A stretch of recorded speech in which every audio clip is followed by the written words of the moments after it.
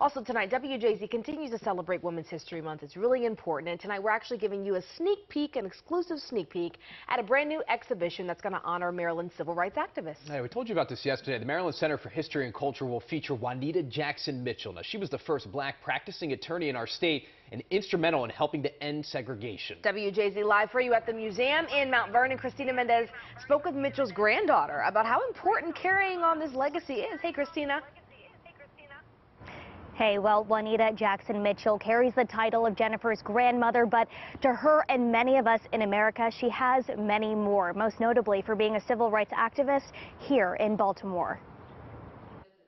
She talked about growing up in a segregated Baltimore city and, and just seeing the injustices and seeing the disparities and the white only, colored only, and she knew it wasn't right and she knew that she wanted to join that fight. And fight she did. Juanita Jackson Mitchell became the first black practicing attorney in Maryland. Using her law degree, Jackson Mitchell filed lawsuits to end segregation. She helped pave the way for Baltimore to become the first southern city to see its schools desegregated. My father shared with me the audio recording, and I wanted to share with you her direct quote. I use the law as a tool to crank up this democracy and help to steer it in the direction of implementing its great constitutional freedoms that all men are created equal. In a new exhibition coming to the Maryland Center for History and Culture, a mosaic of stories from the civil rights movement will be heard from the 1930s through today. Jackson Mitchell will be among the voices. This interview is from the late 1970s. A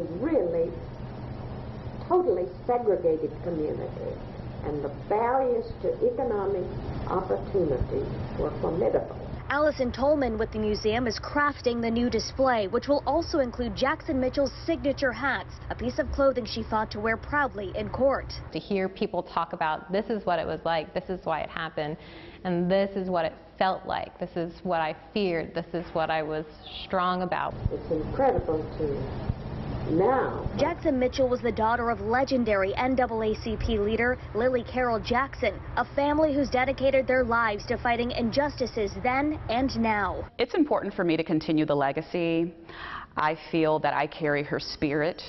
Uh, I work in nursing uh, and nurse education more specifically, and so uh, through my work, I like to inspire, to lead, to advocate, to fight for injustice. And that exhibition does open on May 20th. I'm reporting live at 5 tonight. I'm Christina Mendez for WJZ. You should definitely check it out. It's, it's really important to humanize these history facts, right, that yeah. we have. So I love seeing stuff like that. Well done, Christina. She said she went into nursing. I think she picked the right field. Yeah, she for sure. Did. Talk about meant to be.